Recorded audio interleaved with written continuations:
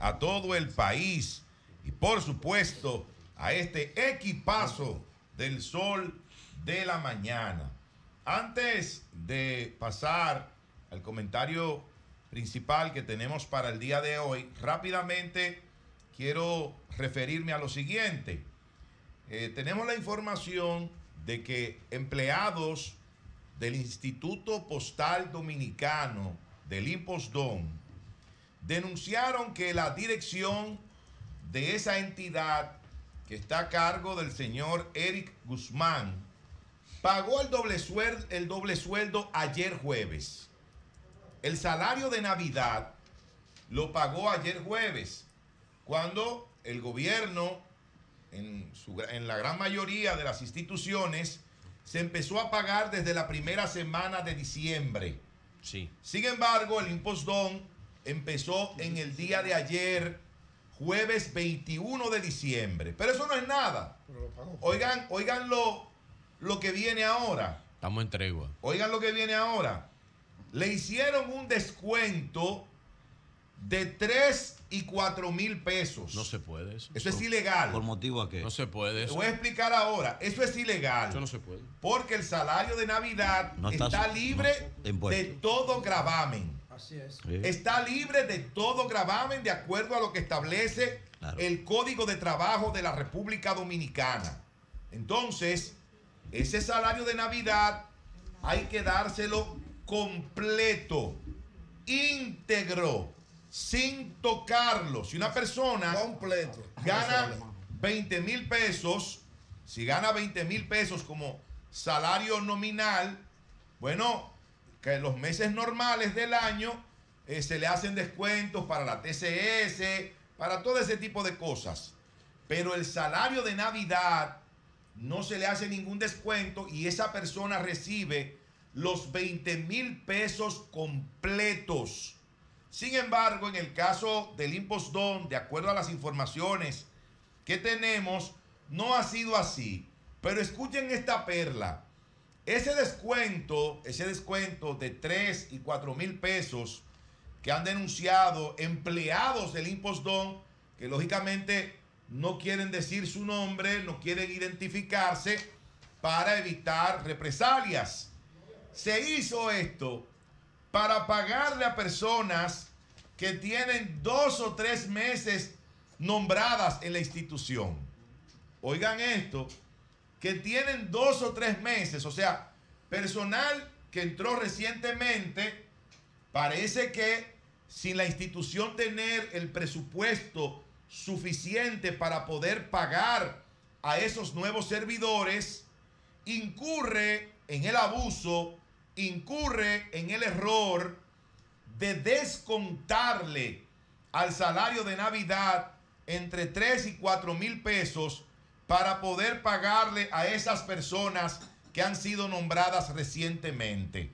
Yo, cre- yo creo que el director del impostón, el señor Eric Guzmán, debería explicar de manera muy clara esta situación que ahí Me- está ocurriendo. Me dicen una aclaración allí y no sé, eh, no tengo la información concisa, a lo mejor como tú la tienes, que el salario, tú sabes que el salario de Navidad es la Salario eh, 13. el, es el salario 13 y corresponde a un por ciento del el año en que tú Lo que tú trabajas. acumulas. Exactamente, de lo que tú acumulas No, en te el voy a explicar, Sí, espérate. conozco bastante Se- de eh, eso. Si alguien tuvo un Sí, aumento, si tuvo un aumento, no, no- recibe exacto. el salario Eso sí último. No. Recibe eh, una proporción del trabajo que cumple. Entonces, eh, e intuyo eh, eh, yo, por una explicación que me están haciendo, que tiene que ver con eso. ¿eh? Por eso es que estamos pidiendo que el señor Eric Guzmán lo explique. Es la doceava Porque, parte. porque Claro. por ejemplo, una persona que todavía no tiene un año en una institución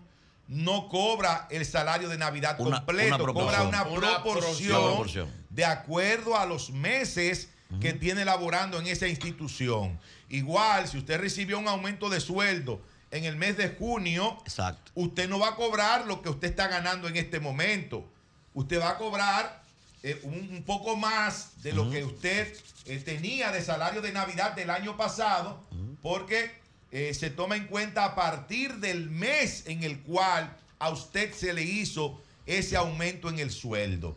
Yo creo que eso se debe aclarar, se debe aclarar. Si es así, si es así como estamos diciendo en este momento, entiendo que no hay ningún tipo de problemas. Ahora, si es que le están descontando entre 3 y 4 mil pesos para pagar a personal que ha sido eh, designado recientemente. Eso es irregular. Eso es una violación a la ley. Eso es una, una decisión y una medida irregular que no se puede aceptar ni justificar de ninguna manera. Miren, Gonzalo Castillo, en el día de ayer, se presentó ante el segundo juzgado de instrucción del Distrito Nacional, donde la magistrada Patricia Padilla y allí le fue variada la medida de coerción.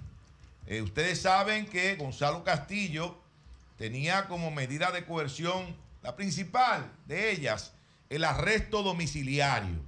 Es decir, él no podía salir de su casa. Tenía arresto domiciliario, entre otras medidas. Bueno, pues en el día de ayer esa medida fue variada y ahora eh, pesan sobre él dos medidas de coerción, una garantía económica y el impedimento de salida. Aunque les voy a decir la verdad, yo creo que eh, debió sencillamente ser puesto en libertad pura y simple, Gonzalo Castillo, porque él no tiene absolutamente nada que ver con eso, nada que ver con ese tema. Ahí lo que se ha querido es hacerle daño a una figura que ha hecho muchos aportes a este país desde su paso por la administración pública, pero además, además, una figura muy querida, una figura muy popular que pudo ganarse el corazón de muchos dominicanos. Así que eh, sabemos que, bueno, tiene estas dos medidas de coerción, pero lo más importante es que ya no tendrá que permanecer encerrado en su casa, sino que podrá realizar eh, más o menos de manera normal eh, sus labores. Finalmente, señores, y esta es una denuncia muy grave, muy grave, que yo quiero que se le preste atención. Grecia Báez de Colón ¿Quién es doña Grecia Báez de Colón? Bueno, ella es miembro titular de la Junta Electoral Municipal del municipio de Santo Domingo Este. Ah, ella forma parte de la Junta Municipal Electoral de Santo Domingo Este. Ella es miembro titular eh, de esa eh, junta Municipal. ¿Y qué tiene que ver todo esto? Bueno, nada, nada, nada, que ella es la esposa del señor Jesús Colón. Yo dije que ella se llama doña Grecia Báez de Colón. Ella es la esposa de Jesús Colón. ¿Y quién es Jesús Colón?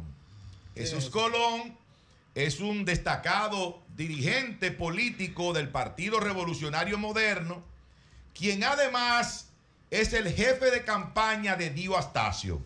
Ah, es el jefe de campaña de Dio Astacio, el esposo de la señora Grecia Báez de Colón. Yo quiero que, ah, bueno, ahí están las imágenes. Miren ahí donde él aparece Ah, ahora con, sé, Dio, sé, quién es él, sí. Con Dio Astacio. Yo sé quién es él. Por favor, ponme, ponme yo la imagen donde, él aparece con la señora Grecia Báez, que es su esposa, donde aparece ahí con ella, en, dentro de las imágenes que te envié hace un ratito. Miren ahí, ahí está. Ese es el, el, me parece que el Facebook de ella. Y ahí dice Grecia Báez de Colón. Y hay una foto de ellos dos Ahí como ustedes pueden observar. Hay otra que dice Jesús Colón, jefe de campaña de Dio Astacio. Otra de, las imágenes que eh, le enviamos a Joan para que por favor, mírenlo ahí. Jesús Colón, jefe de campaña, Dio Astacio. Y ahí está la foto de él con su esposa, la señora Grecia Báez de Colón. Eso es muy grave. Estamos a 56 días del proceso municipal electoral. Es decir, el próximo 18 de febrero, el país va a acudir a las urnas para escoger a los alcaldes municipales, a los directores de distritos municipales, a los regidores y a los vocales. Entonces, no puede ser, no se puede permitir de ninguna manera que en el municipio de Santo Domingo Este una persona pueda ser juez y parte. ¿Eh? No puede ser, porque no estamos hablando de un vínculo cualquiera. No estamos hablando de que es, es un, primo, un primo cuarto, casi enemigo. No, estamos hablando de que el director de campaña del candidato alcalde de Santo Domingo Este, del partido oficial, del Partido Revolucionario Moderno, que es Dio Astacio, está casado con una miembro titular de la Junta Electoral Municipal de Santo Domingo Este. Yo creo que lo mucho hasta Dios lo ve. ¿eh? Lo mucho hasta Dios lo ve. ¿Cuándo llegó ella ahí? Así, no importa cuándo haya llegado. No? no, importa cuándo haya llegado. No? Si no la pusieron ahora, no, hay problema. No, importa. Eso no tiene nada que ver. El tema es el vínculo que hay. Tiene que divorciarse ahora. Entre que el jefe de campaña del candidato alcalde del PRM y ella. Pero que tiene que tener su delegado ahí en la, Junta Electoral. a él sí lo colocaron ahora porque dio Astacio. Pero tiene que tener su delegado ya. Salió electo candidato eh, a través de las encuestas no hace mucho tiempo. No, dígate, perdón, a través del proceso. ¿Pero ¿Cuál es el problema con eso? ¿Cuál es el no hace mucho tiempo. ¿Cómo que cuál es el problema? Sí, a ver. ¿Cómo tú puedes ser juez y parte un proceso? Pero que tiene que inhibirse de eso cuando le toque el ¿Cómo puede ser juez y parte? nada más tiene que inhibirse sí, como se inhibió, como se inhibió de votar doña Miriam Germán Brito. Pero que eso es diferente. En el Consejo Nacional de la Magistratura y el nuevo de ella salió como juez. tan, pronto, tan pronto Diego Atacio se inscribió como candidato, ahí, ahí entra una situación de irregularidad. De irregularidad, claro. claro. Ella no debe estar ahí. Ella no debe ser Tan pronto él se inscribió como candidato. Ya hay una situación. Hay, una situación. hay un choque de interés. De, choque de bueno, interés. pero, pero, pero, pero lo que tiene que hacer. Pero primero lo que hay que verificar si ese señor que Nayib identifica es el jefe de campaña de Sí, lo es. Lo dice. No, no, es. no va a venir a hablar si no tiene nada. Lo es. Lo es. Ahora, yo quiero hacer un llamado. Si no lo es, que lo desmienta. Quiero hacer un llamado. Porque él puede ser lo que quiera políticamente. Quiero hacer un llamado a Román Jaques Liranzo quien es el presidente de la Junta Central Electoral. Estamos en tregua, ¿eh? Esa situación. Mira, me dice, sí, estamos en tregua. Perdón, me dice alguien que Yo creo en la Junta y conoce la ley.